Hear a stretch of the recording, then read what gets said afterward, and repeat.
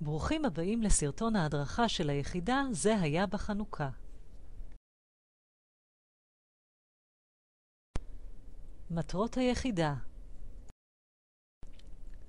מטרת העל של היחידה היא להכיר את היצירה הספרותית "זה היה בחנוכה" או "נס גדול היה פה" מאת נתן אלתרמן, להבינה ולהתייחס להיבטים מגוונים העולים ממנה. מטרה זו נגזרת מהישג נדרש 6 בתוכנית הלימודים. מטרת על נוספת של היחידה היא להראות לתלמידים כי משמעות של יצירה ספרותית נתונה לפרשנויות שונות והיא תוצר של אינטראקציה ודיאלוג בינה לבין הקורא. מבנה היחידה שימו לב לתרשים מבנה היחידה המופיע במסך. יחידה זו כוללת שלושה שיעורים. בשיעור הראשון קוראים את היצירה כולה ומשוחחים עליה. השיעור עוסק גם באופן כללי במבנה ובתוכן של היצירה, וכן בצורה מעמיקה בתוכן של החלק הראשון.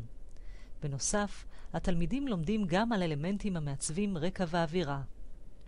בשיעור השני התלמידים לומדים על התוכן של החלק השני והשלישי של היצירה. בחלק השני של היצירה, התלמידים מזהים את התפקידים שכלי הבית מקבלים. בחלק השלישי של היצירה, התלמידים מגלים את אופן שילוב הסיפור ההיסטורי של חנוכה עם המשחק הדמיוני של כלי הבית. השיעור השלישי מוקדש לאמצעים אומנותיים בולטים בשירה. התלמיד נחשף לשתי תבניות חריזה בולטות בשיר, חריזה צמודה, א' א' ב' ב', וחריזה מסורגת, א' ב' א' ב'. במסקים הבאים נתאר באופן מעמיק יותר את כל אחד משלושת השיעורים. השיעורים ביחידה שיעור מספר 1 השיעור פותח במליאה הראשונה, קוראים את זה היה בחנוכה. מטרת המליאה להעלות ידע קודם ולעורר ציפיות. כדאי להתעכב על הכותרת הכפולה של הטקסט ועל שם המחבר, ולערוך שיחה מקדימה על הנושא ועל הסוגה הרשומים על כריכת הספר. בהמשך מוצג הסיפור ההיסטורי של חנוכה בתמונות ובכיתוב. הסיפור ההיסטורי של חנוכה חיוני להבנת היצירה.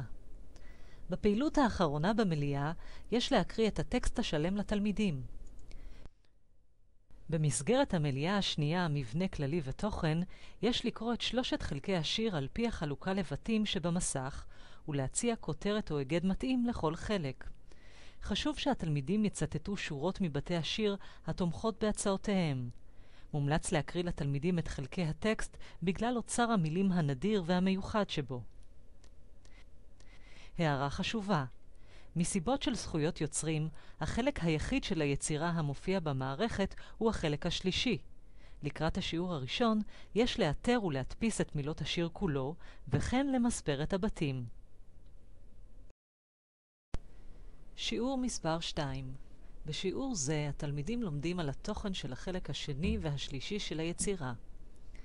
בחלק השני של היצירה, בו עוסקים בפריט הלמידה היחידני ובמליאה לכל כלי תפקיד, התלמידים מזהים את התפקידים שכלי הבית מקבלים, ועומדים על הקשר שבין הכלים לתפקידיהם, מתוך ההקשר ומתוך ידע העולם שלהם כקוראים. בחלק השלישי של היצירה, בו מטפלים בפריט הלמידה היחידני השני, התלמידים מגלים שלפעמים כלי הבית מוזכרים בקטע בשמם, ולפעמים רק בתפקיד שלהם.